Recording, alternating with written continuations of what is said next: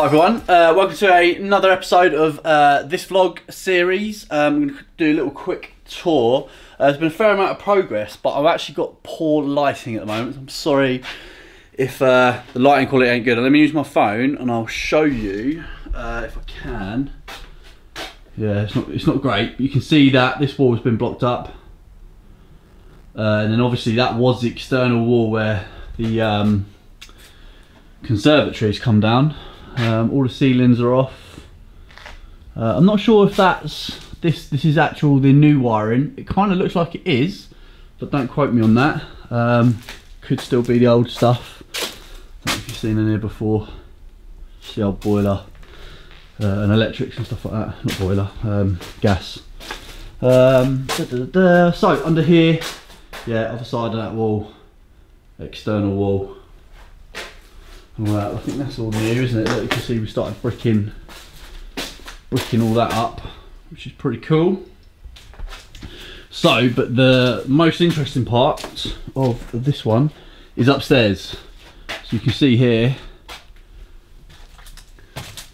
massive changes up here. Let me come up. Let me show you. You can see up into the loft there. Right, check this out.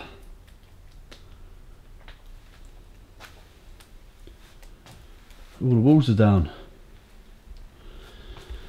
So it's pretty cool. So we're obviously keeping the carpet, so we've laid that sort of protective cover over it. Um, all new walls.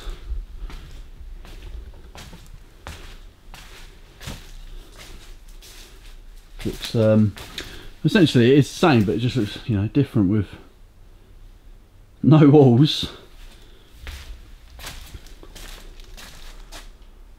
Bathroom.